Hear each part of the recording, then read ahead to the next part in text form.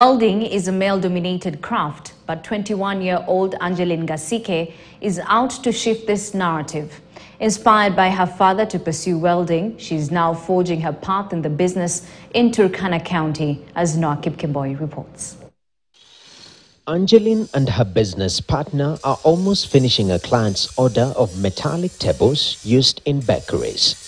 She skillfully handles the corded angle grinder to smoothen the rough metallic surfaces, a craft she has longed to protect for a very long time. Niliona wasichana wengi hawafanyi, sasa mimi nikachagua, lakini nilikuwa nimependa welding nikiwa mdogo mpaka saa hii toka class 7 2016. It is that passion that drove her to pursue an opportunity for training. Nilisikiasikia tu fununu nikiwa Baringo kwamba kuna training zinaendelea huku saidi za Turkana. Nilitafuta contacts ya mtu wa Swiss Contacts nikapatana na Madam Anne Mm. Ndo akan tukaongea na yeye, baba yangu akanitumia fare, nikakuja huku 2020 mwezi wa tisa nikajoin welding nikamaliza Disemba tarehe nne. Being a lady in a field dominated by men, she says it takes determination to grow.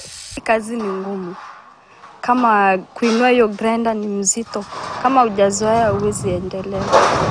Mm. Pia hiyo moto inaenda inafanya mtu anakuwa kona scratch kwa uso, macho inauma, lakini ukizoea haiwezi kuuma.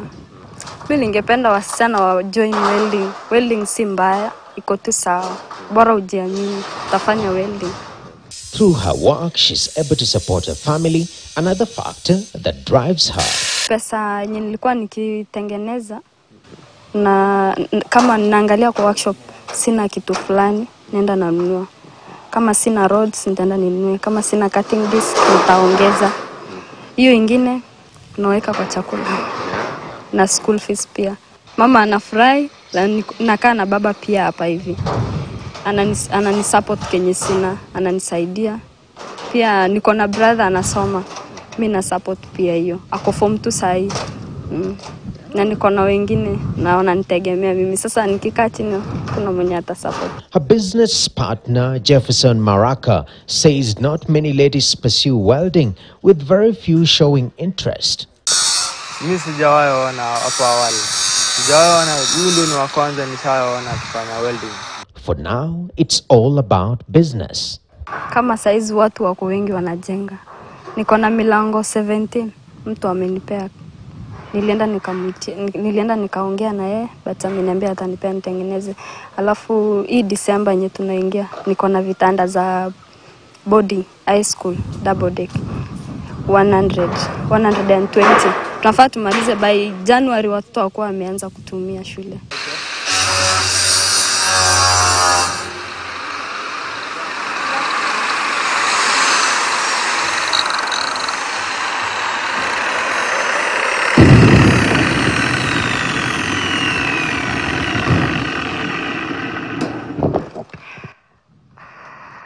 Welding is not easy, to be honest.